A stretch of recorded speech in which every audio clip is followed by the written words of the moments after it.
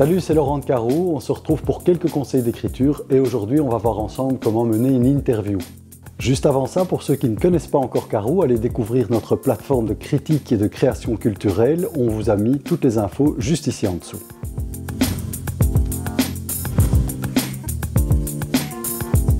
Réaliser une interview, ça peut paraître d'une simplicité enfantine.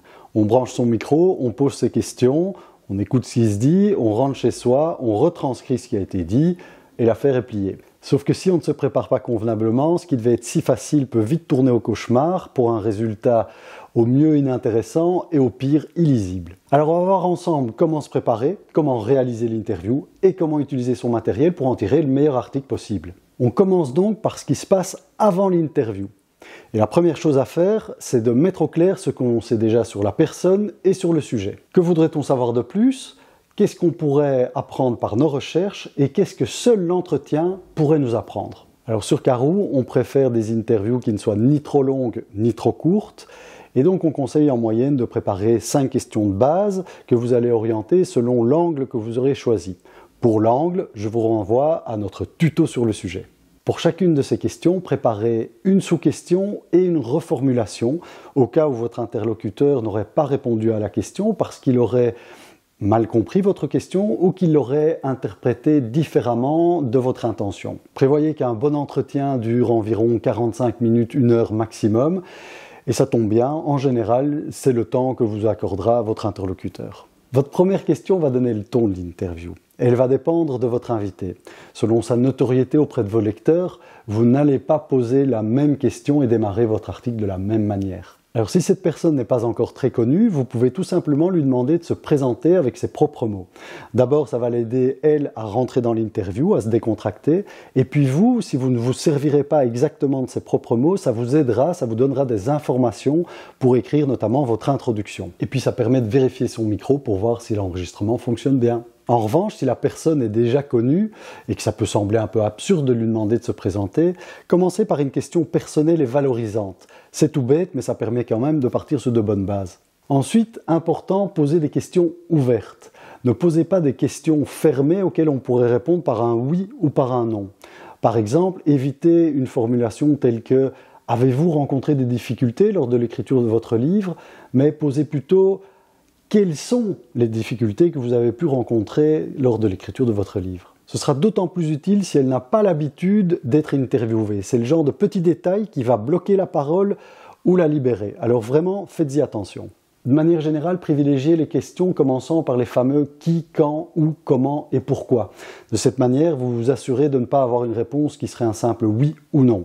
Alors un bon truc, posez des questions dont vous-même vous ne connaissez pas la réponse.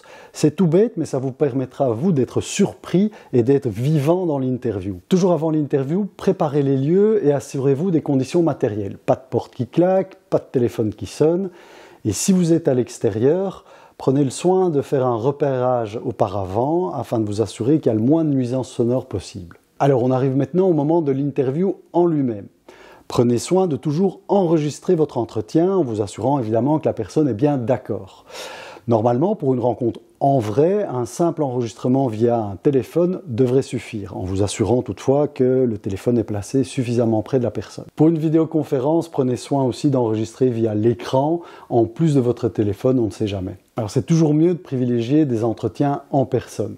Ça permet de créer une complicité beaucoup plus facilement et puis, vous pouvez peut-être proposer à l'interviewé de choisir le lieu où vous allez vous rencontrer, à condition que ce soit toujours un lieu euh, calme et propice à une interview, parce que ça pourra vous permettre de découvrir un petit peu ses goûts, euh, les endroits qu'il affectionne. Pour mettre la personne à l'aise, commencez par vous présenter à nouveau, ainsi que votre média et puis la raison pour laquelle cet entretien a lieu. Ça permet de planter le décor et ça donne une bonne entrée en matière à l'interview.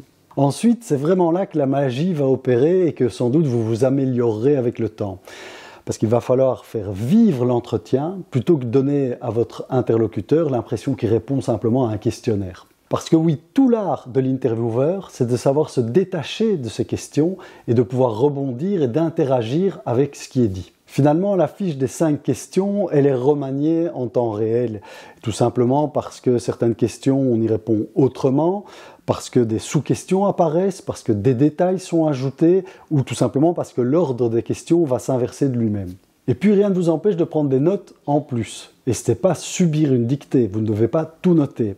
Mais ça vous permet d'observer par exemple les expressions de votre interlocuteur, sa voix, ses gestes, ses attitudes, bref, de prendre des notes sur sa personnalité. Et ça, ce sont des éléments très intéressants que vous allez pouvoir utiliser quand vous allez rédiger votre introduction, ou par exemple si vous vous lancez dans un article plus personnel, où vous allez un petit peu rendre compte de cette rencontre et vous allez farcir votre texte de citations issues de l'entretien. Arrivé à la fin de votre entretien, une chose importante, finissez toujours par demander à la personne si elle aurait quelque chose à ajouter. On arrive maintenant à la phase de rédaction de votre article. Et là, soyons honnêtes, la première étape, c'est un peu pénible, c'est de retranscrire mot à mot ce qui s'est dit durant l'interview. Ensuite, une étape très importante, on va retravailler la formulation en évitant les répétitions et toutes les marques de l'oralité qui seraient trop fortes. C'est très important et on va s'apercevoir aussi qu'on va peut-être devoir réagencer l'ordre des questions pour qu'il soit plus naturel à la lecture. Alors c'est une étape délicate parce qu'on doit conserver un son naturel et une identité. L'interlocuteur a souvent une manière de parler, des expressions bien à lui et il faut les conserver. Par contre, on doit se débarrasser de toutes les imperfections qui sont trop lisibles par rapport à l'oral, et ça se consiste souvent dans des tics de langage qu'on a toutes et tous, mais qu'il s'agit de supprimer. Alors attention lors de ce passage de l'oral à l'écrit, vous devez bien rester fidèle à ce que la personne a voulu dire, même si vous n'êtes pas tout à fait d'accord avec ça. Vous pouvez aussi vérifier toutes les infos relatives à des chiffres ou à des dates, et parce que votre interlocuteur a pu se tromper, ça arrive à tout le monde, et vous pouvez ensuite échanger avec lui pour bien vérifier si ces données sont exactes. Alors si besoin également, expliquer les mots difficiles, techniques ou scientifiques. Vous pouvez soit donner cette explication entre crochets, ce sont les fameux notes de la rédaction ou notes de l'auteur, soit tout simplement proposer une note en bas de page. Enfin, titrer sur le temps fort avec un mot-clé. Pour le sous-titre et pour le chapeau, vous utiliserez les circonstances et le cadre et surtout les objectifs de cet entretien. L'astuce en plus Ne coupez pas l'enregistrement une fois la dernière réponse donnée. Souvent, la personne, après l'entretien, est un petit peu soulagée, elle est plus relaxe et les langues se délient. Et c'est dans cette petite conversation souvent que vont émerger des anecdotes ou des précisions qui sont très utiles. Et ce serait dommage de perdre du temps ou de demander à la personne de répéter ce qu'elle a dit parce qu'on doit rallumer le micro. Alors gardez-le bien ouvert. Attention à bien valider toutefois que ces informations-là sont utilisables et que la personne vous autorise, que ce n'est pas euh, en off comme on dit. Ça va souvent dépendre du contexte et de la personne interviewée, mais généralement ces infos-là sont très utiles.